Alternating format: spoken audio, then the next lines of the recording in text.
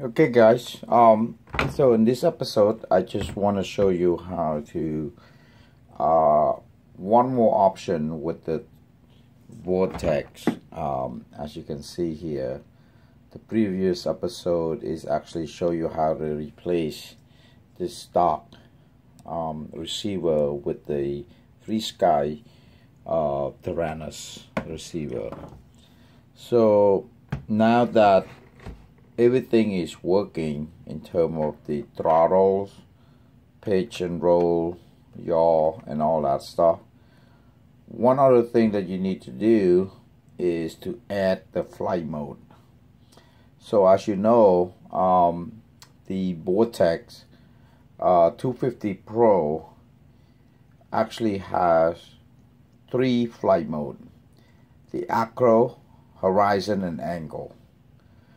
But right now, this particular quad, it doesn't know that because I need to go and set up here the three different flight mode for that. So let's go ahead and uh, show you how I do that. Okay. So to do that, you basically has to go to the uh, the radio itself right now. Okay. With the radio, you go in there and you just hit the page um, to the 5 or 12 right here. Okay. On here, you can actually move down to the the fifth input. And as you see here I also select I already select the S uh, one switch there. The next thing is you go to the mixer and it's selected switch G. So you look up here I want to use the three position um, switch G right here. This is a three position. So I can have um, angle mode horizon and the top one is acro. So if you don't set this up the default if without the fly mode setting it's always gonna be the acro. Acro means um, the quad does not have the self leveling. So everything you have to control by your input here. For beginner you don't want to use the acro unless you're really good at it. So that's why I'm setting this up so that myself I'm gonna start out with either the angle mode or the horizon mode then gradually uh, go to the acro so I'll show you that in the uh, in the setup. So from the radio you don't need to turn on the quad at this at this point. Just set everything up in the radio so that the radio is set to that okay? So I name it the F mode stand for fly mode. Uh, that's what it is right now. So let's see uh, go from here. Let's power up the quad and see in the OSD how to set that up. Alright, so now we got the quad is here. Make sure the antenna is on before you power it up. Uh, connecting to the battery. Telemetry recovered. Okay, it's actually connected. And just go ahead and look at the uh, the monitor.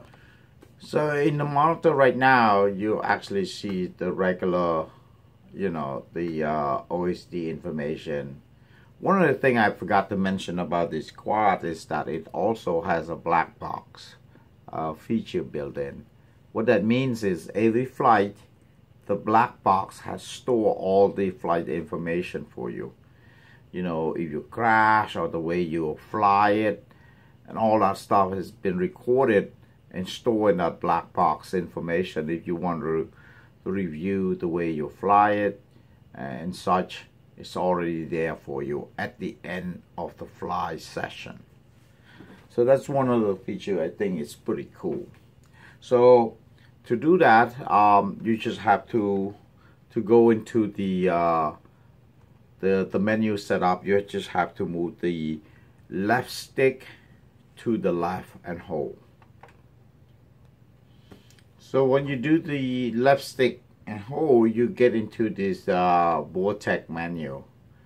So to get into it, you just move the right stick up and down to change to the different uh, menu that you want to get into. So in this case, um, we wanted to go into the OSD um, setting. So by doing the right stick turn it to the right you change the OSD mode. Easy OSD air race OSD heads up display. Even it has a, a built-in uh, game gamer that you can actually practice this without using the quad itself. So it's kind of simulator built into it as well okay? So I just put it back in the easy OSD uh, in this point. Um, then um, you can change you know your uh, enable your telemetry um, battery uh, information beeper frequency and such. Um, what we want to do now um, you can also select the different LED display in the back of the quad the way that you want it uh, that as well. Um, then you can also change the frequency of the uh, VTX if you're in a group and everybody kind of run you know uh, in the same frequency you can change yours to a different frequency so that you don't have interference um, that as well okay?